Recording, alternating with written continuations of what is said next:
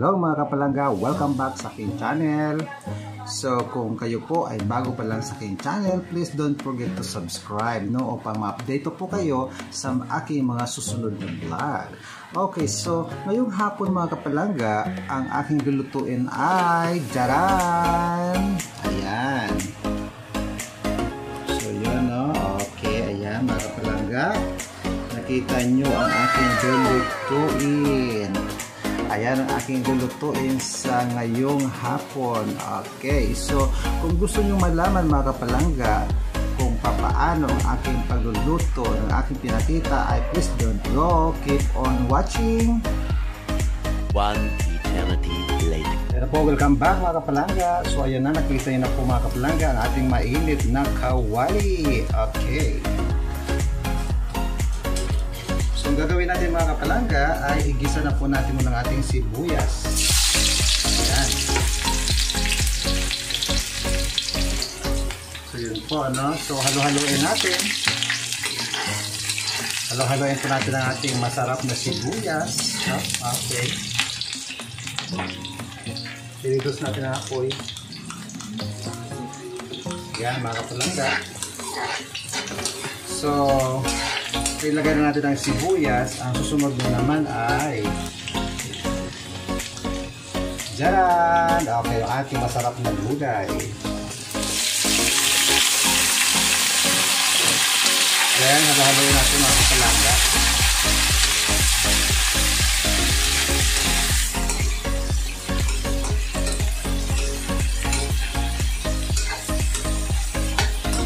Ah, yung gulay natin mga kapalangga, meron siyang kalabasa, pampalino ng mata, and then ang ating okra, masarap na okra, no, para sa diabetic, and then talong, no, okay, nilagyan din po natin ang talong. So, nasa sa inyo rin po yung mga kapalangga kung ano pa ang mga gulay na gusto ilagay. Like for example, lagyan nyo rin po siya ng, ah, tawag nito, yung ampalaya, pwede rin, no? Ayan, pwede rin po yun o sitaw, pwede nyo rin po siyang lagyan, no? Nasa sa iyo po yung mga kapalangga kung anong mga diskarte o anong mga available pong gulay dyan sa inyo, no? Okay, pwede po siya, no? Ayan. So, halo-haloin nyo lang mga kapalangga, no? Halo-haloin nyo lang mga um, gulay natin, no? Okay. Yun po, no?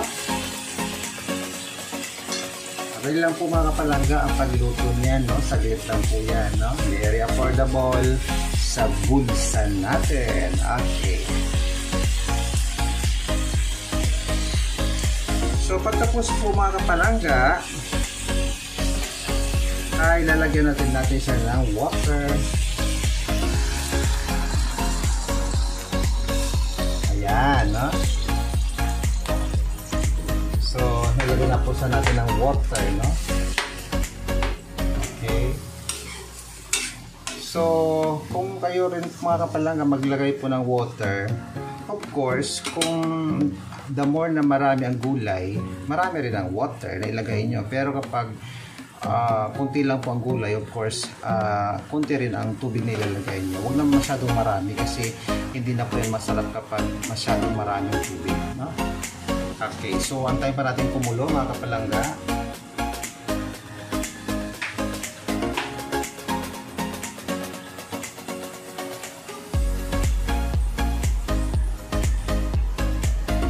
Ayan po, nakikita po natin pa unti-unti na pong kumukulo ang ating niluluto, no, mga kapalangga.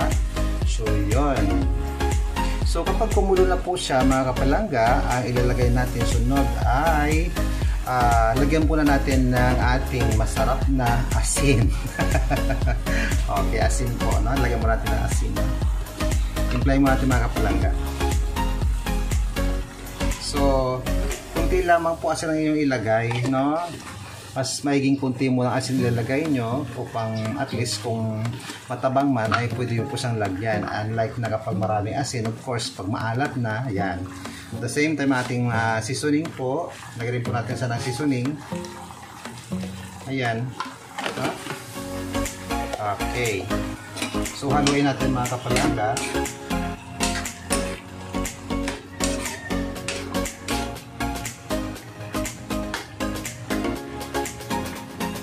Ayan po. Nahalo na po natin. And then, ang susunod natin ilalagay ay Jaran! Okay, ang ating masarap na, ano ba to, crabis ba ito sa inyo? Sa akin, sa amin kasi ito, ang tawag nito ay kasag, no? Okay, alimasag, parang gano'n, no? Okay. So, ilalagay na po natin sa mga kapalangga. So, i-dip po natin, no, mga kapalangga. Ayan.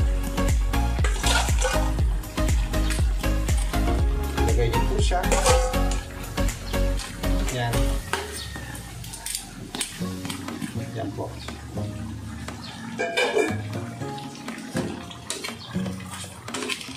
Mas maganda kung naka-absorb sa ano sa ano sa baw po mga kapalangga, no? Ayan.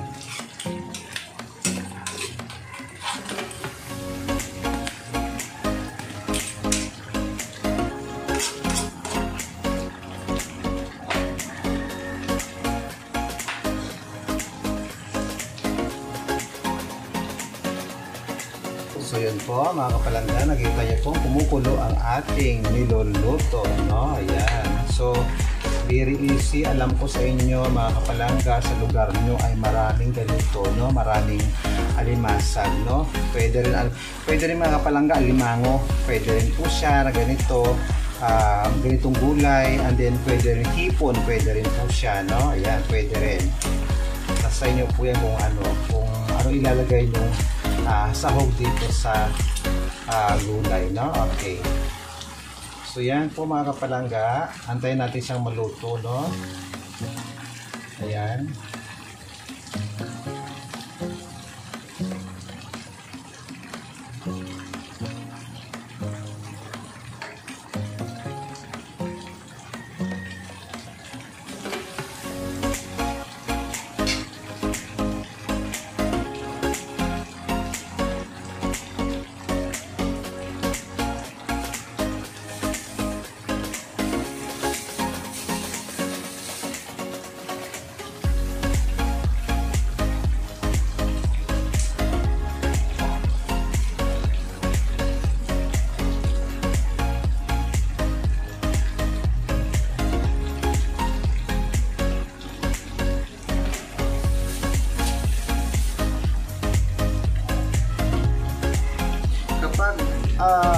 na po siya ang luto na po ang gulay mga kapalangga. At the same time na timplahan na po sa natin. Ang susunod na ilalagay ay jaran. Okay ang ating masarap na gata. Okay ito ang pampasarap sa ating niluto no? Okay masarap na gata no? Okay. So kung ano pa ang mga susunod na mangyayari sa ating niluto mga kapalangga please don't go. Keep on watching. One hour later.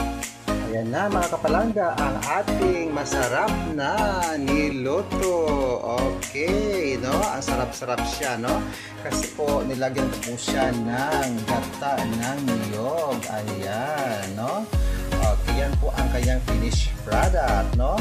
At the same time, very affordable po sa ating bulsa, no? Okay, so ginawa ko ay ginisa ko lamang po siya sa ano sa sibuyas ang ating kalabasa ah, at at same okra at saka ano mm, talong no? And then ayan po no? Nilagyan natin po siya na alimasag at the same time ginataan po natin nilagyan natin po siya ng gata. Okay so yun. Okay mga kapalangga thank you so much po sa panood ng aking vlog Bago po kayo umalis, please don't forget to subscribe my channel upang ma-update pa po kayo sa aking mga susunod na vlog. Paalam mga kapalangga!